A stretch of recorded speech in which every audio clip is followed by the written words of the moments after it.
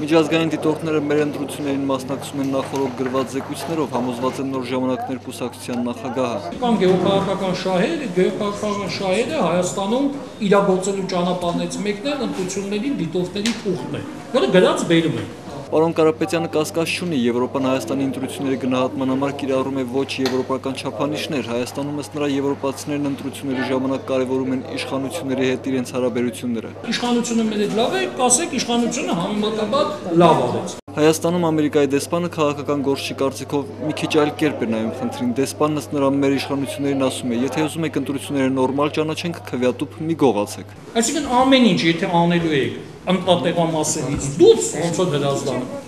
նորմալ է այդ ընտրությունները մենք ասենք նորմալ ամերիկացիները պարոն Կարապետյանի տպավորությամբ կգոհանան նաև եթե ընտրությունների ժամանակ իշխանությունները մարդ չծեծեն այդ դեպքում Հայաստանը խաղաղ ընտրություններ ձևակերպումն ստանալու համար խնդիրներ չի ունենա Մհեր Արշակյան Ֆելիքս Գալստյան այփ